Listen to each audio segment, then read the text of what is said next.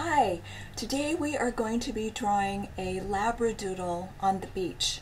So you will need paper, a pencil, a black marker, and either crayons or colored pencils. Okay, let's get started.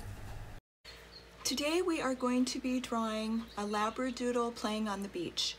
And all you will need is paper, crayons, or colored pencils, a pencil, a black marker, and an eraser, and that's it. I'm going to be doing most of the drawing in a black marker so that you can see what I'm drawing. If I do it in pencil, it's really hard for you to see it. So I'm going to start out doing it all in a black marker. And remember, you need to ask permission if you're using a Sharpie or another type of black marker because these stain and it might not be okay. So ask any adult in your house if it's okay for you to use a black marker, okay? So this is a Labradoodle playing on the beach and he's really fun to draw and he's really fun to color. And it could be a boy dog or a girl dog. I'm gonna, I'm gonna say he's a boy dog, so I'll be referring to him as him. Okay, so the first thing that we're going to be doing is we are going to be drawing his jaw and his face. So it's a series of little squiggle lines and all you do is you do some squiggly lines like this. You know, Labradoodles have pretty curly hair.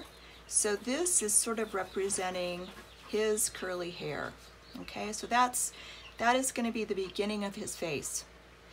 And then we want to do a little, another squiggly line down here like that. That's the bottom of his mouth. And then we're going to go ahead and draw the top of his head and his ears. So let's just start right about here, just a little bit above where we started the original squiggles. And we're just going to go ahead and do some more of these curly little squiggly lines like this. And then maybe come up a little bit where his ears are and then come back and go up like that. And then we'll come back to this line that we started and come on down and do some little squiggly lines like we did and kind of go up a little bit for his ear and then come back to his jaw. And then we're gonna put some little eyebrows on him. So you wanna just do some little eyebrows like that and then maybe one over here. And let's go ahead and add his eyes. And he's gonna have two big eyes like this. And a nice thing to do is to add a light reflection in his eyes. So inside those two eyes, draw a smaller little circle like that. And it can be off to the side, it could be off to the bottom, it could be right in the middle. And then with your marker or your pencil right now, go ahead and color that in, but don't color in the little white circle that you drew.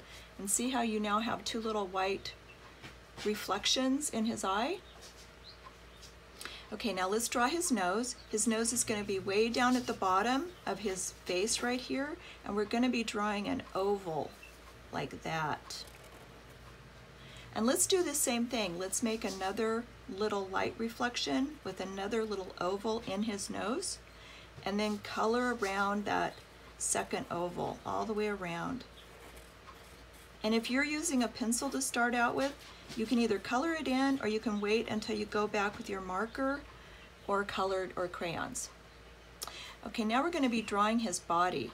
And his body is similar to these little squiggles. You're just going to be coming just right to the left of his nose and his jaw area and just come on straight down and just do a slanted line like that.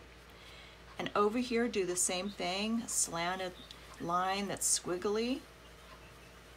And that's his body. And we're gonna do some arms. You can do little squiggly lines like that. And one over here. And these are his curly arms. And this is gonna be his belly right here.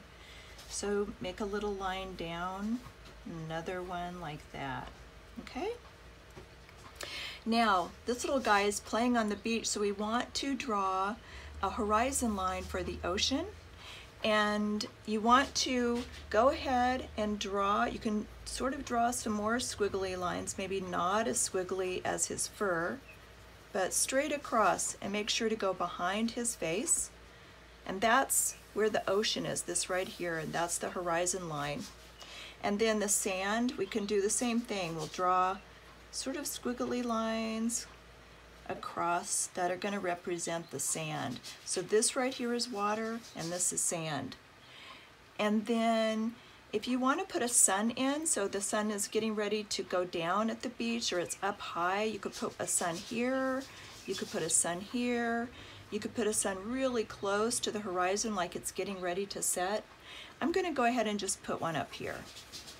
You just draw a circle.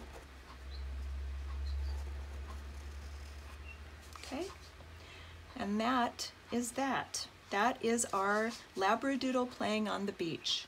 Now the best thing to do is to color this, and that's where all the fun comes in. So you now have your own coloring page with a Labradoodle at the beach.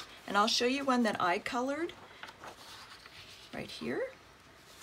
So I, I started out back in the horizon with the blue, and I did darker blues farther away and it, the water got lighter as the water got closer to the shore. And then I painted the sand, colored the sand a sandy um, color with the crayons.